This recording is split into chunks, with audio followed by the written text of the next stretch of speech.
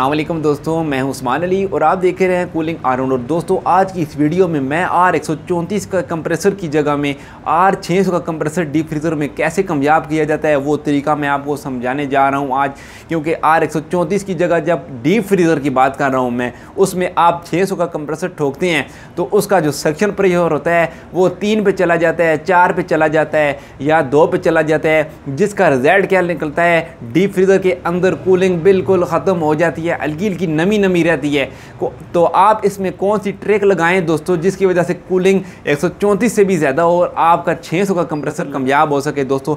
मेरे पास जो ट्रिक है मैं वो ट्रिक लगा के कंप्रेसर लगाता हूँ और एक साल की वारंटी देता हूँ दोस्तों। वो ट्रिक मैं आपको भी बताने जा रहा हूँ। वीडियो अभी देखें आप अपने टॉपिक की तरफ़ चलते हैं टाइम को बचाते हुए। दोस्तों ये अभी आप देख रहे हैं।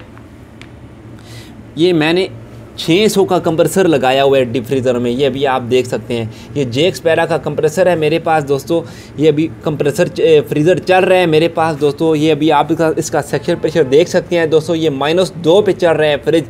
ये डीप फ्रीज़र है, माइनस दो पे। बहुत ही अच्छी कूलिंग है इसकी।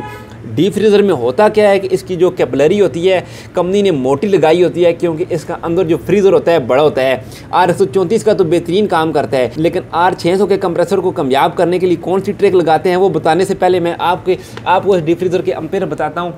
ये अभी आप देख सकते हैं दोस्तों ये भी आप देख सकते हैं, ये पॉइंट सिक्स अम्पेयर पे चल रहा है। अभी तकरीबन दस मिनट हुए हैं, मैंने फ्रीज़र को चलाया है। गैस वगैरह डाल के मैंने इसको कल तैयार कर दिया था। अभी ये फुल लोड पे है कंप्रेसर अभी ये, और देखें, इसके साथ जो मैंने ट्रिक लगाई है दोस्तों, मैंने ट्रिक कौन सी लगाई है? इसका जो कंडेंसर है ना, इसके साथ मैंने ये भी देखें, सात फुट वन फोर का पाइप लिया है। इसके कंडेंसर के साथ एक्स्ट्रा उसको लगा दिया है। जिसकी वजह से क्या हुआ है, इसका जो हेड प्रेशर है जो कंडेंसर के अंदर प्रेशर होता है, वो थोड़ा सा डाउन हो गया है और जिसकी वजह से फिर क्या रिज़ल्ट निकला है कि हमारे पास बेहतरीन कूलिंग आ रही है।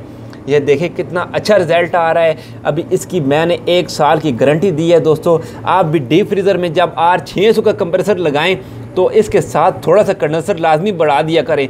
आ, अगर ऐसा आपसे कंडेंसर नहीं लग सकता तो आप इसके साथ तकरीबन वन एट का वन सिक्स का अपने कंप्रेसर के हिसाब से जो डीप फ्रीज़र होता है उसके हिसाब से इधर बाहर एक्स्ट्रा दूसरा फ्रिज वाला कंडेंसर भी लगा सकते हैं जो इन कब्ज़ों से नीचे नीचे आए ठीक है?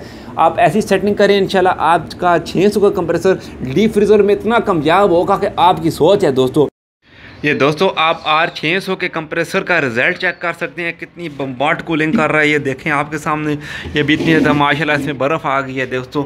अभी तकरीबन 10-15 मिनट हुए हैं, मैंने इसको चलाया है। एक साइड भी देख सकते हैं, ये देखें आप। ये दूसरी दूसरी साइड भी देख रहे हैं। ये सारी इसकी कूलिंग पूरी हो गई है, देखें।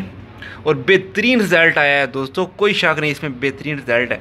इस वीडियो को देखने के बाद अगर आपके इलम में इजाफा हुआ है तो मेरे चैनल को लाजमी सब्सक्राइब करें। आपको इन बहुत फ़ायदा होगा। खुदाफिज